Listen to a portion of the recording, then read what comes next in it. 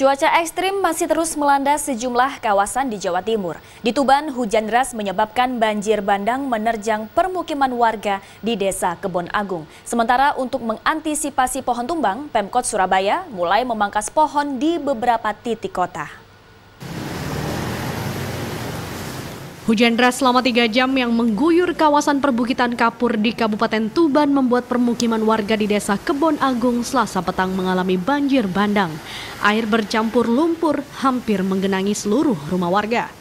Banjir seperti ini rutin terjadi setiap hujan deras mengguyur. Gundulnya hutan menjadi penyebab mengapa air mudah turun ke permukiman warga. Sementara di Sidoarjo, banjir yang melanda kawasan Tropodo belum juga surut. Selain jalan raya, banjir juga merendam permukiman warga. Akibatnya seluruh aktivitas warga lumpuh. Sejumlah rumah terlihat kosong lantaran penghuni terpaksa mengungsi ke tempat yang lebih aman. Hujan deras juga menyebabkan sejumlah pohon besar di daerah Tuban tumbang.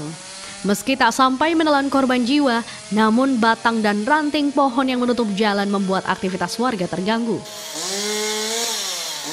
Untuk mengantisipasi bahaya pohon tumbang, Dinas Kebersihan Kota Surabaya melakukan pemangkasan pohon di sejumlah titik kota.